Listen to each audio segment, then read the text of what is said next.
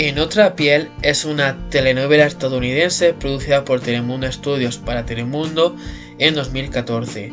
Se trata de una versión de la telenovela El cuerpo del deseo, que a su vez es una adaptación de la historia original colombiana de Julio Jiménez, llamada En cuerpo ajeno.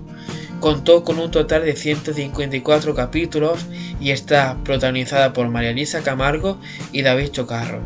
Las actuaciones antagonistas estuvieron a cargo de Vanessa Villela, Jorge Luis Pila y Plutarco Jaza. Además contó con las interpretaciones estelares de Laura Flores, Marisela González, Guillermo Quintanilla y Gloria Peralta. En Estados Unidos se estrenó el 18 de febrero de 2014 en Telemundo y llegó a su final el 29 de septiembre del mismo año.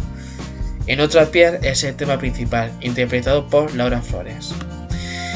El argumento es el siguiente. Mónica Serrano es una mujer proveniente de una familia millonaria, pianista reconocida a nivel mundial.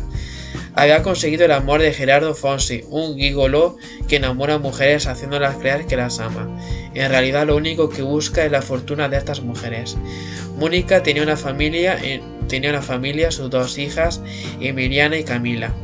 Elena, su sobrina, que desde pequeña creció con rencor y cuando tuvo la oportunidad asesinó a Mónica, inyectándole una sustancia que presenta los mismos efectos que un infarto. Sin embargo, Mónica regresó en otro cuerpo, con la misma alma y recuerdos para proteger a los suyos. Adriana Aguilar es una mujer que lo tenía todo. Era trabajadora y soñadora. Estaba enamorada de Diego, y quería a su hermano Jacinto al que ayudaba con los gastos de la carrera de medicina, sin darse cuenta de que su hermano usaba el dinero en casinos. Adriana conoce a Mónica en medio de un pequeño accidente donde sus almas quedaron unidas a través de un amuleto mágico. Adriana pierde el amuleto en el encuentro con Mónica. Mónica empieza a tener visiones de, que lo que hacía, de lo que hacía Adriana. Adriana fue maltratada físicamente por Carlos Ricardi que mandó a asesinar a su hermano y después intentó asesinarla en el hospital donde residía. Y justo al momento que Mónica es asesinada por su sobrina, el alma de Adriana sale de su cuerpo y el alma de Mónica entra al cuerpo de Adriana.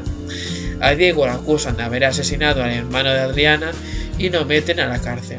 Y Mónica tendrá que adaptarse a un nuevo cuerpo para poder defender a sus hijas ante sus enemigos.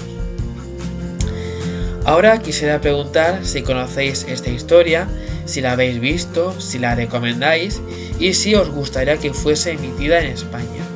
Esperamos vuestra crítica con la telenovela y muchas gracias como siempre por seguirnos y visitarnos.